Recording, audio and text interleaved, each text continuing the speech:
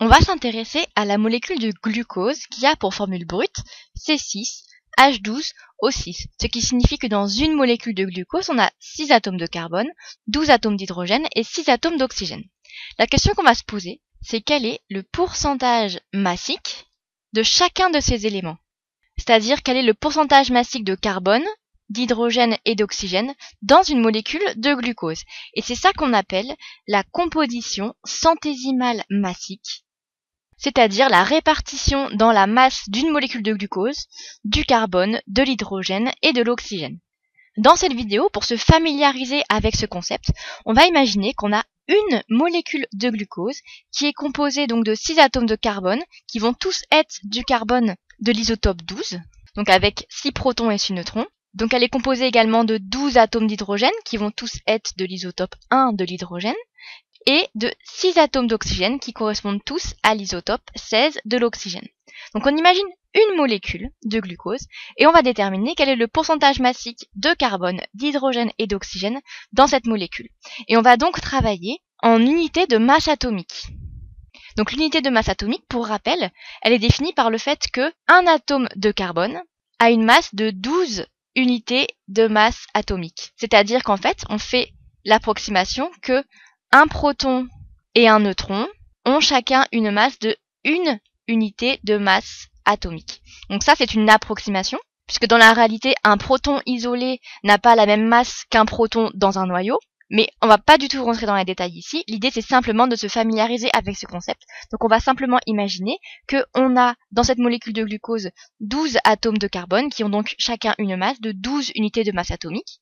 On a les atomes d'hydrogène qui eux ont une masse de 1 unité de masse atomique puisqu'il y a un proton dans l'hydrogène.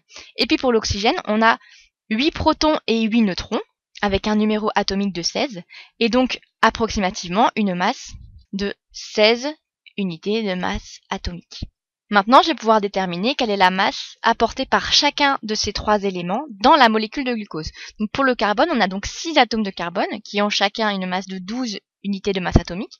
La masse due au carbone dans cette molécule, c'est donc 6 fois 12, c'est-à-dire 72 unités de masse atomique. La masse due à l'hydrogène, c'est donc 12 fois 1, c'est-à-dire 12 unités de masse atomique.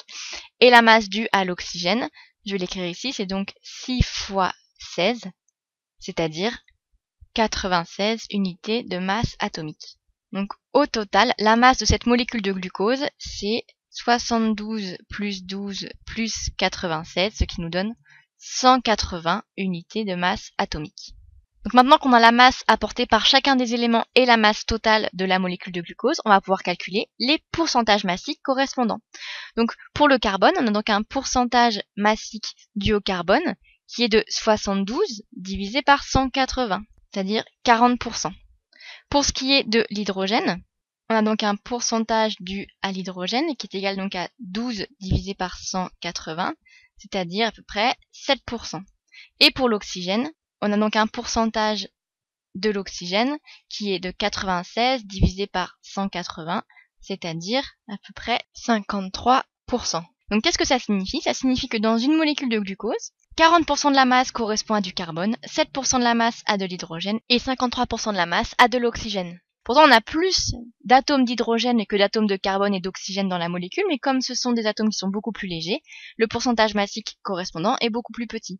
On a autant de carbone que d'oxygène dans la molécule de glucose, pourtant le pourcentage dû à l'oxygène en masse est plus important que le carbone.